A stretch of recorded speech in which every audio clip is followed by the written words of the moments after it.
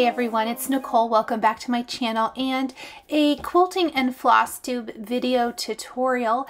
Today I want to share with you how I turned this Haunted Halloween block from the week one mystery quilt and stitch along, but I'm using the quilt along to create a project bag for my cross stitch.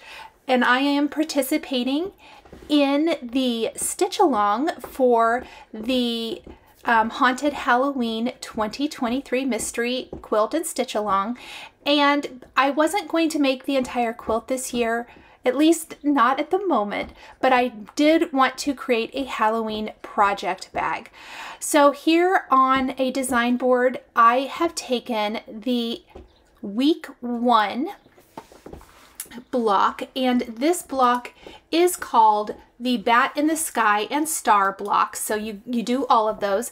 And I have cut all of the pieces for the bat in the sky. So that's going to be the moon and the bat. I am using some fabrics from the Sweetwater uh, late October collection that was released last year in 2022, I believe. I had this in my stash left over from a quilt that I have cut up and not sewn together yet. And I love this collection and thought it would be perfect. Now I am going to create the block but I'm going to create my own setting and make a project bag very similar to the Flossiversary project bag. I'm sharing the process here on my design board. I cut all the pieces and I labeled them with the great little alphabetties from Fat Quarter Shop and I will have a link to all of those below.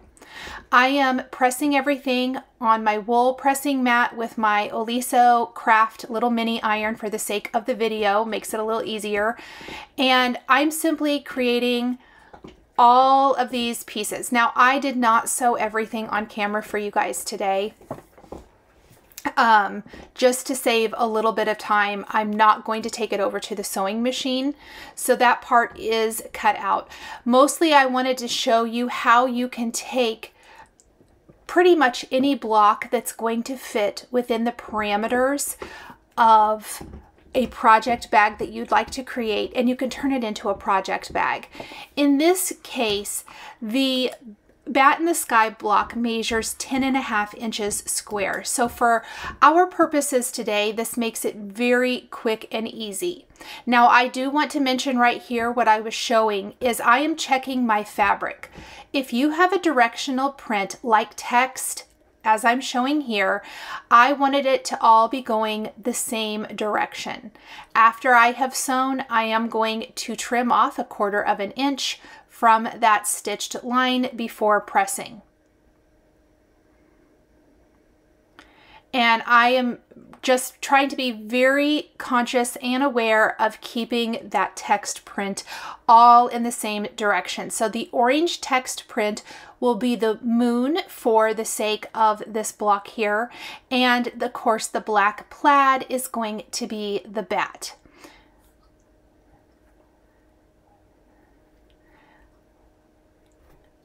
Let me move that out of the way. And then I'm going to reference step, the next step.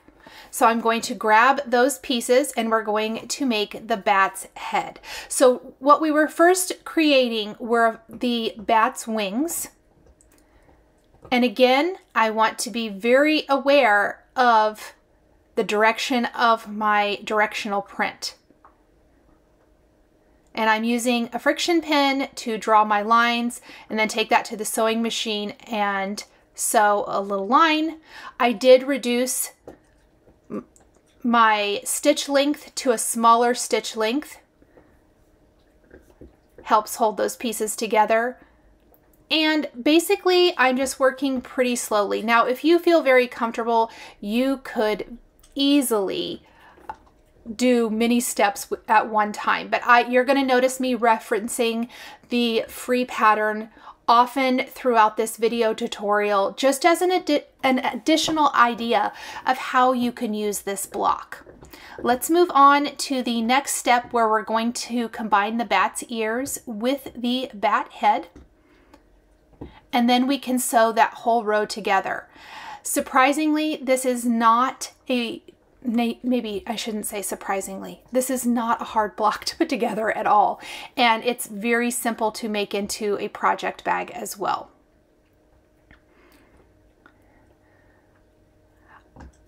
The great thing about any fat quarter shop pattern is they always share the direction to press your seams or if it needs to be pressed open. So there you can see the top of our bat. Let's go ahead and sew this together.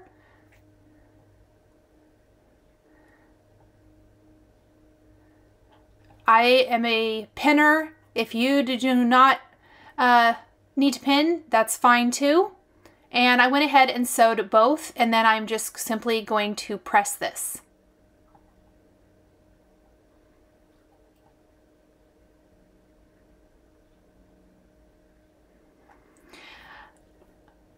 I love watching the little image come to life when you're piecing blocks like this. Let's do the body of our bat. So we need a G and I think a J. And for this, again, directional print. So I need to look at that and I always fold it up and see that's upside down. So let's flip it. And that looks good. So I'll draw my line, stitch, trim, add the other block, and stitch and trim. I am going to go ahead and draw my line now though while I have it out.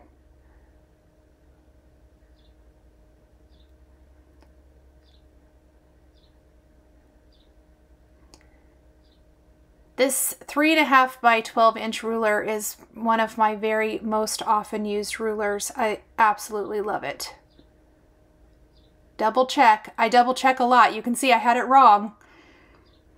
Directional prints, it's always worth checking. And then I check before I trim as well. Okay, let's give that a quick press. Let's line up all the rest of our pieces and let's put the whole thing together. So now we're going to sew this block basically into three strips. So we're going to add our squares on either side of the body.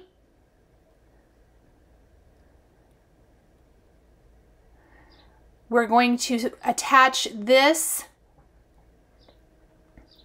to the upper part of the bat and then we're going to attach the upper and bottom row. And at this point, our block is almost finished. Very quick. So I'm just going to pin this. We'll run over and stitch it. And then comes the tricky part of put, making it into a project bag. And I am more of a trial and error. So I do want to mention that my previous bag is 14 inches wide and I am basically going to go on the same size and scale of the Flossiversary Summer Sal 2023 project bag, which is the patriotic themed bag. It could be any type of bag. Um, it just has a patchwork front instead of a pieced block, but this bag is going to be basically the same size. So I, we're pressing this seam open. The instructions say to press this one open. There are a lot of seams meeting here, and so it's going to lay nice and flat by pressing this one open. Cute, cute. I'm just going to hit that a couple times, and then we're going to sew the top and the bottom.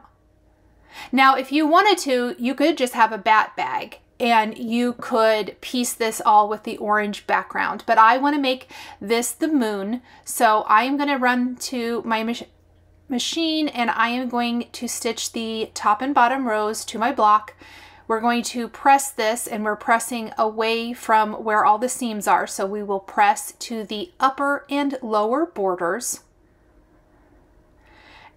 And then we're going to use our background fabric to create that moon shape. So we're gonna we're gonna be adding squares to each corner of this block sewing them at a diagonal and trimming away. And I'll show you that here in a minute. So here's our block. I'm gonna set my seam and then press it towards the top. We're gonna set our lower seam and press that down towards the bottom.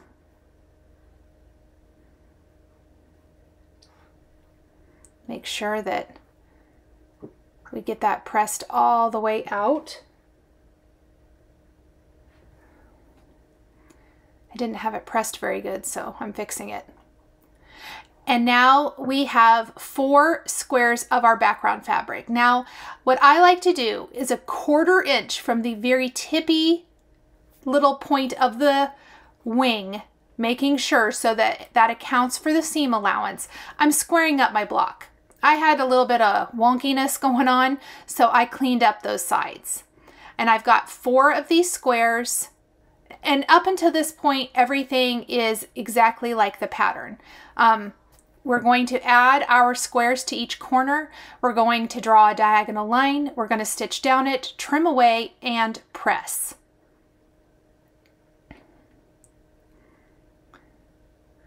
So I am going to go do that really quick and then we're going to start assembling our bag.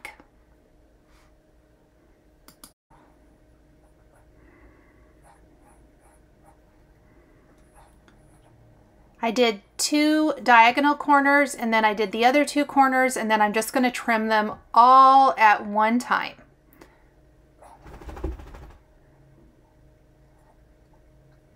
Now you could opt to do a lighter fabric, but I wanted my the majority of my bag to have a pattern. And so I liked this dark gray with the little crosses in it, almost like a starry sky with the moon.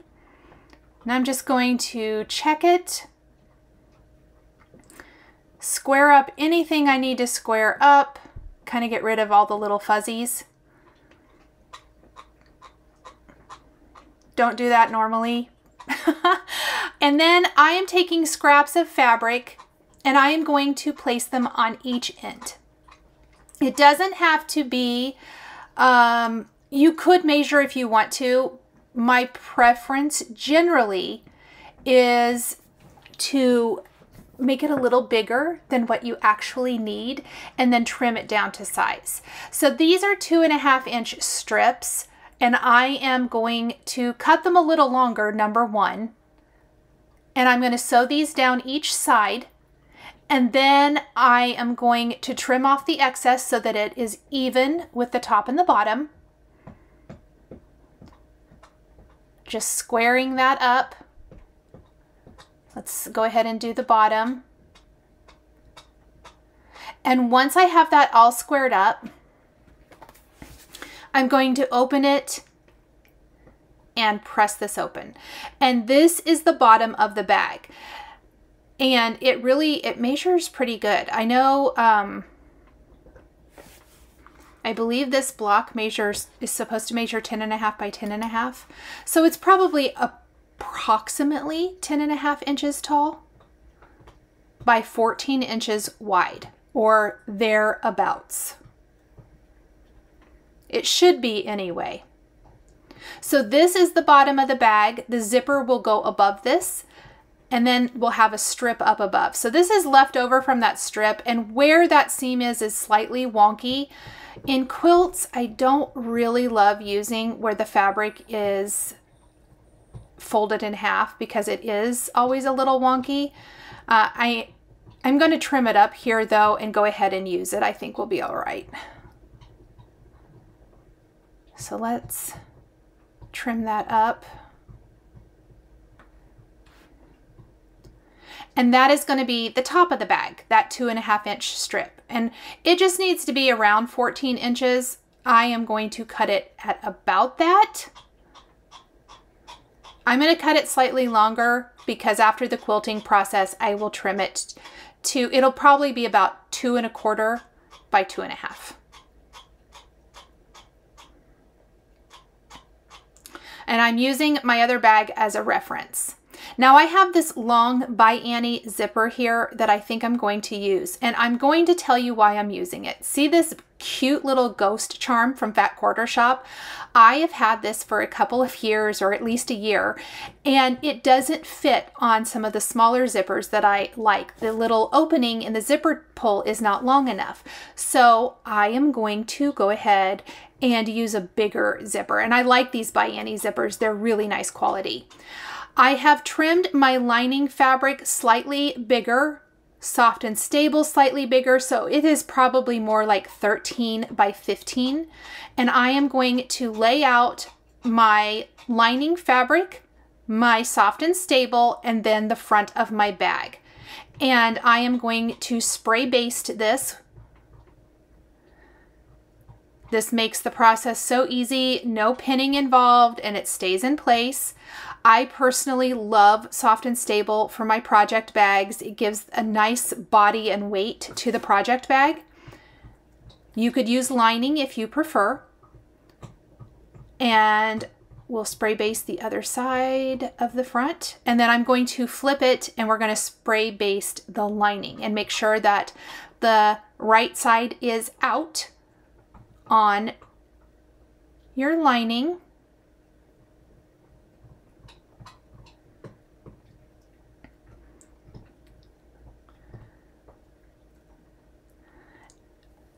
And then um, I don't know if I show the basting or not. I am going to do a cross hatch style quilting. And what I like to do is line up my 45 degree angle with like the top edge of the fabric. And then I start drawing lines. And my personal favorite is about one inch. It does take a little bit to quilt a bag like this, but it looks so beautiful. And half inch is really fun, but that does take quite a bit longer. You could always mark the front of your panel the way you like. I know I'm using a friction pin. I know some talk about it leaving a mark or not leaving a mark or the mark coming back. It is heat erasable. So when you set your iron to it, the heat does erase the pin mark. I have never had any trouble with the pin marks coming back. I have heard that in very cold climates they can, but again, I have never seen that even when it is super super cold here. So uh, I would say use whatever marking pin or system that works for you. I draw all my diagonal lines one way, then I turn my ruler and I draw them the other way to get the cross hatch look. And I'll line up with a couple of those lines I just drew and I will start marking.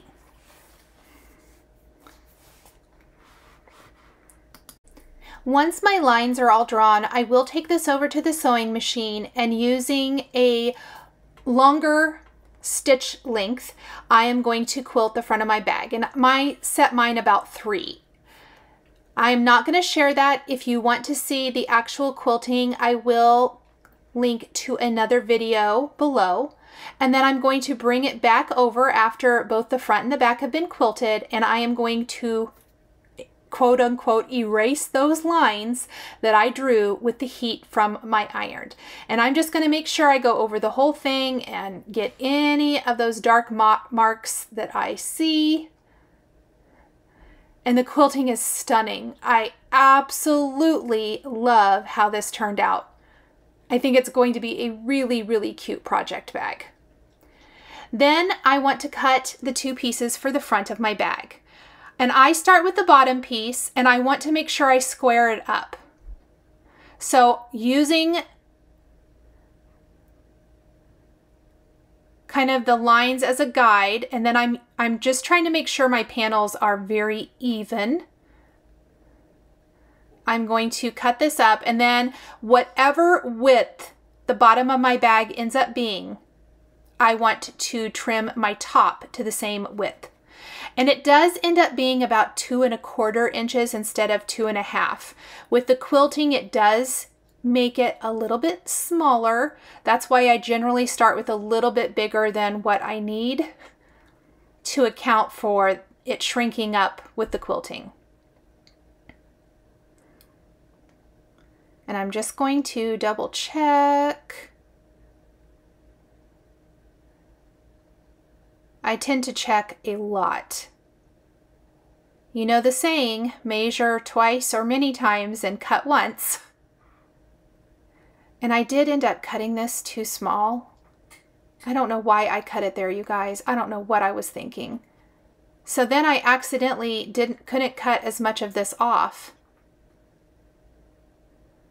But luckily it will be hidden in the seam allowance, so I lucked out, but don't be me. I left it in here to show you the dumb things that I do. Okay, so there's the front of our bag. Next, for my binding, I'm actually going to use the same fabric that I used for the bat. I really like this. This is a three fabric bag with the exception of the lining, which is just a white tone-on-tone -tone polka dot from either uh, Bonnie and Camille or Corey Yoder or someone because I have a love of all white on white prints, especially little white on white uh, mini polka dots or little pin dots. Those are my favorite. And since I have so much of that and I love the inside of my bag to be a lighter fabric most of the time, I just, I think it makes it easier when you're digging in your bag to see what you're looking for. Um, I just use something in my stash. Everything about this bag is a, is a stash buster. The fabric I had in my stash, the zipper I had in my stash, the charm I had in my stash. So really happy to kind of use up some of those fabrics and things that you guys see on the wall in my floss tube video. These are two inch strips and they are slightly longer than 14 inches because I like to again cut it a little longer, maybe about a half inch to three quarters of an inch longer and then trim it up. And we are going to put this on the bottom of the top piece of the front panel. This is how we're going to attach our zipper. And then we're going to put it on the top of the bottom piece. If you watched my other bag tutorial, it is going to be the exact same step. I hold, fold, pardon me, the two inch strip in half, iron it, and then I fold in each side and iron that down as well.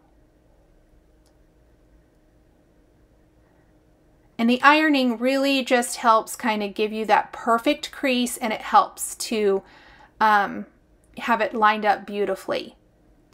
If a two inch strip is a little hard to work with because I know we are going around the soft and stable, you can trim it to two and a half inches and it will be a little bit easier.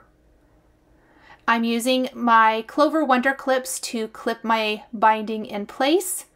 I'm going to take this over to the machine and I am going to stitch along the bottom edge on each.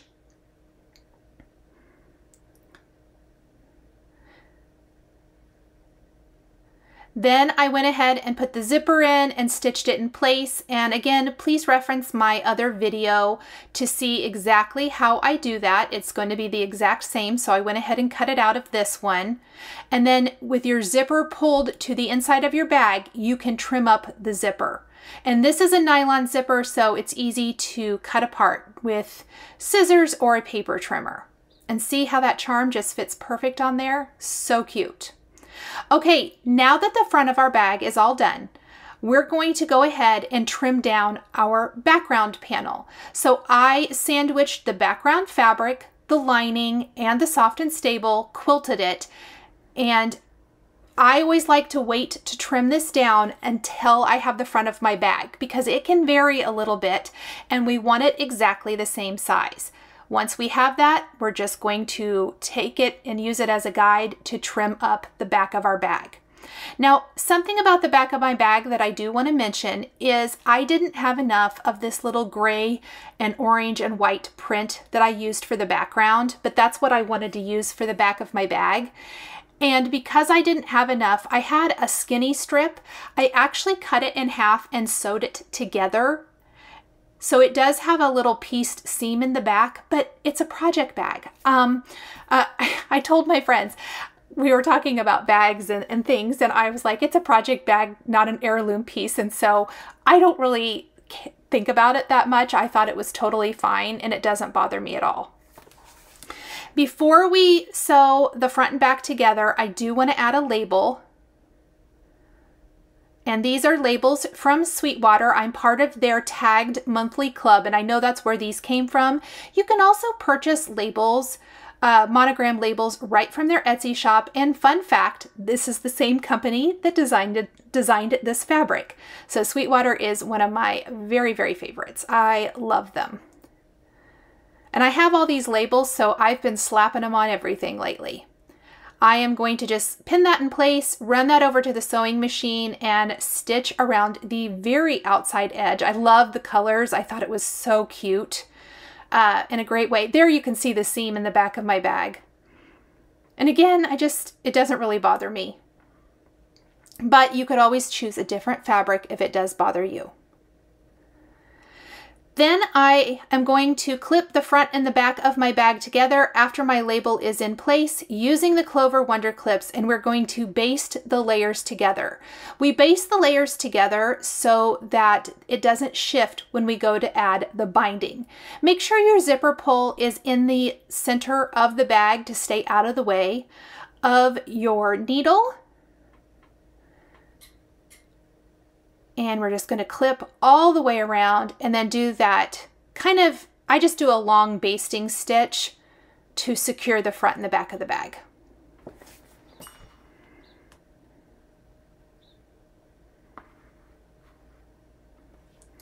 For my binding, I sewed together two two and a half inch strips and I used the traditional way to make a long piece. And again, please reference my other video for exactly how to do this if you've not done this before. We will have a little bit left over, I believe. And yes, and I'm going to iron this in half. So we're just making our binding and then we're going to sew this to the front of our project bag using a quarter inch seam. And a quarter inch foot is my preference here. I find that that helps keep me exactly where I need to be when I am sewing. So I will leave a very wide opening where I like to join my binding is along the bottom of the bag. That's just generally where I do it. You can do it wherever you want, but I like to pick one of the longest sides. So that would be the top or the bottom here. And for me, the bottom is where I do that. Then you want to combine the bottom. In my previous video, I have step-by-step -step instructions for doing this. You want to cut your tail about the width of your binding strip and in this case, and I always do it a quarter of an inch smaller. My binding is two and a half inches, so I cut it to two and a quarter. And that is the overlap. So I'm going to tell on myself and I cut my, or I sewed mine and cut it without checking the thing I say always not to do. So I actually had to piece another piece into the bottom of my binding and make it work. So there's extra seams down there, but again, it's a project bag and it's okay. So I am combining my ends just like I would with my binding, sewing at a diagonal. Oh, look, it fits now. That's why you see all those extra seams. I just wanted to explain. Uh, there's almost always a way to fix it. So I say that a lot in paper crafting too. There's ways to correct our mistakes. And then I am going to go ahead and take that to the machine and finish stitching that quarter inch seam. Now this is what I want to show you. One of my viewers, I believe it was Barbara, reminded me of a technique that I haven't done in a while, and she's right, it does work good. It's gluing down your backing before machine stitching your binding down because it's going to almost always ensure that you catch all those edges. So I'm actually just Elmer's glue, I think, I think it is Vanessa of Lella Boutique who does this, if I'm not mistaken, but um, she uses Elmer's glue. I have this craft glue from Simon Says Stamp, and so that's what I ended up using because I couldn't find my Elmer any Elmer's glue uh, at home when I was doing this. And you put a little line of glue and then we want to just press our binding in place. And take your time with this. Try as much as possible to have it even on all four sides and all the way down. So I'm pressing and it's going to dry and press that in place. Really, it's going to eliminate the need for tons of clover clips, which is awesome. And this helps get those corners perfectly mitered as well. So I'm just going to continue this. I did find I like to glue with my glue edge over on the right. For whatever reason, this is really comfortable for me.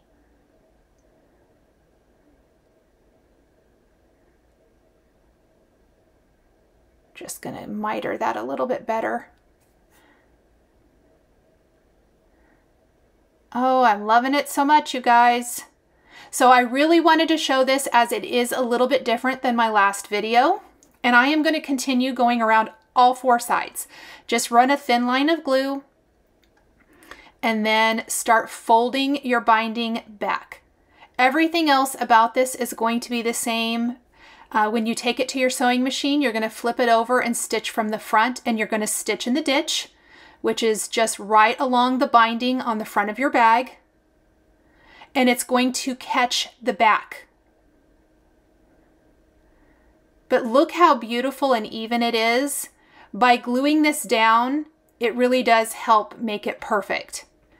And again, I want to thank, I, I, I, think it was Barbara, who mentioned this in a recent comment. And I thought, oh my gosh, yes, I don't know why I didn't think of that.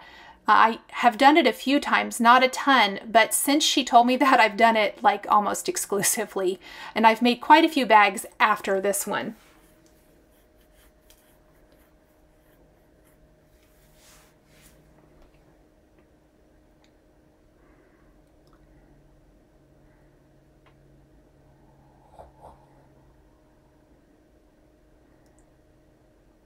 If you feel like you need to secure a corner or a side, you can see I have binder clips in a couple places, probably where there isn't as much glue. I do that as well. And at the corners, I like to just fold, make sure we get that beautiful mitered corner. Okay, I'm gonna run this over to the machine and we're gonna stitch in the ditch and I'll be back.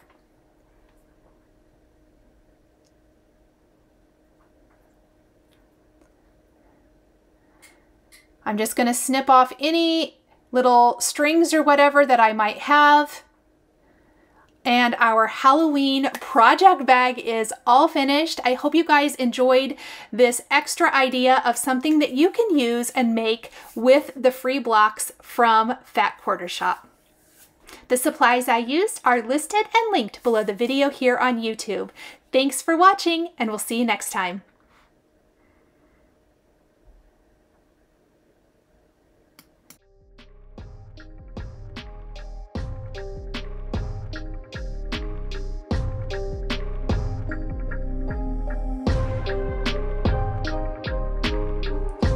Enjoyed this video, please subscribe to my channel, click that like button, and don't forget to hit the notification bell to always be notified when I have a new floss tube, stitching, or quilting video. Thank you guys so much for joining me today, and we'll see you next time.